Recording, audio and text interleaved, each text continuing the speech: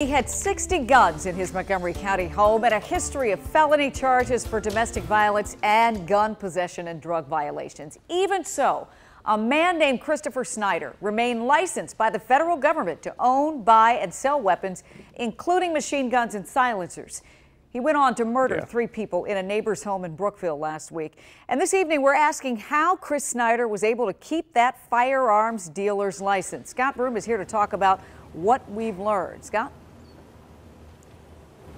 The tragedy here just a week ago. Despite his troubled background, Christopher Snyder, who lived in this house here, and all those warning signs, despite all of that, those records were expunged from state court records. And even if they had not been erased, it is not likely the federal government would have suspended Chris Snyder's federal firearms license.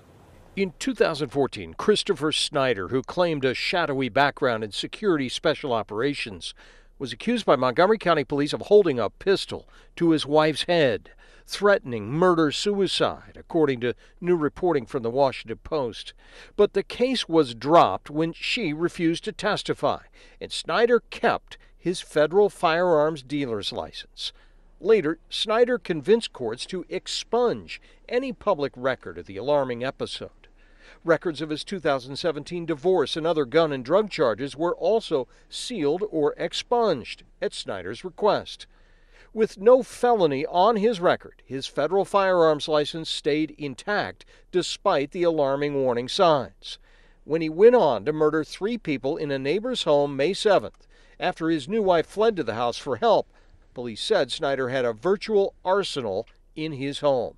He killed himself after a standoff with police.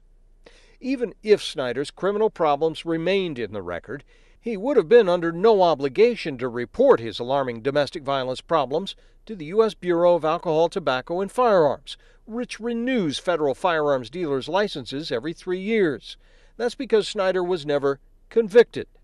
Meanwhile, the ATF has been criticized for weak enforcement. A 2016 analysis of ATF records by PolitiFact found that less than 1% of non compliant firearms dealers ended up getting their licenses revoked. Now, on this subject, Maryland's courts have just been given brand new authority to order the temporary seizure of guns from individuals who display alarming behavior, even if they have not been convicted of a felony. It is called the uh, check that. It's called the red flag law. It's new to me, should be new to you. Governor Hogan here in Maryland just signed it.